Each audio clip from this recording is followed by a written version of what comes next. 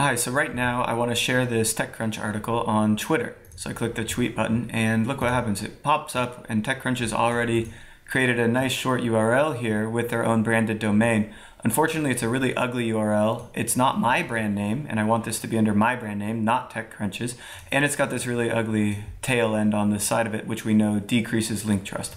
So what am I going to do? I'm going to click on my Rebrandly tool right here, create the link myself, add, I'll choose my own custom domain. So maybe I'll put it under derek.link or one of my fun ones like just the click.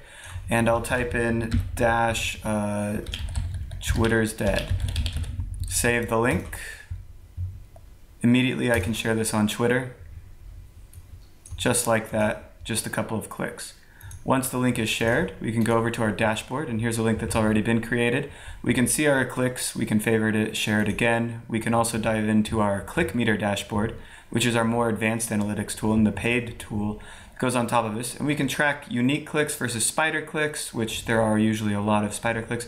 We can see a bunch of different data. We can also add different things to the tracking links, such as link retargeting, notes, tags, conversion tracking, uh, redirection, countdown, a ton of other parameters that go into this.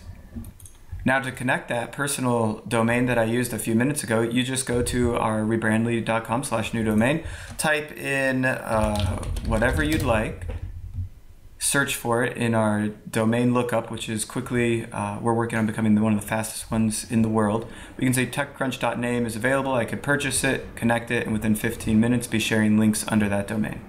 Thank you.